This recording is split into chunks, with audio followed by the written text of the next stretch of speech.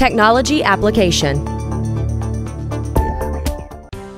A spraying tip that rotates 180 degrees keeps the Ryobi Pro Tip handheld cordless paint sprayer developed by Techtronics from clogging.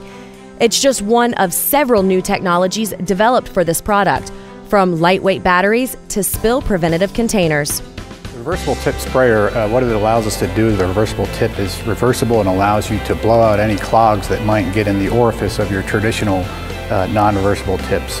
And it allows for a consistent, steady spray pattern. Well, this battery is an 18 volt lithium ion battery that's part of our One Plus system. What that means is that the same battery that's compatible with this paint sprayer is compatible for circular saws, drills, and hedge trimmers.